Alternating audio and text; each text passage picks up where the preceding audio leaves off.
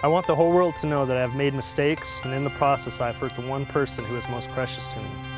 I am admitting to all my faults, and I am making the right changes to become the man that she deserves and needs.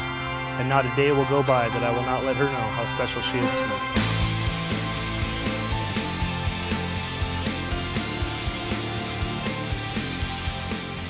I want the whole world to know that I love her, and she will forever hold my heart. Here's to new changes and good memories.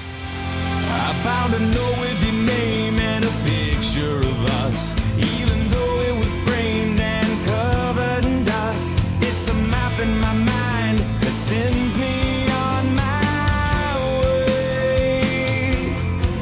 They say it's never too late.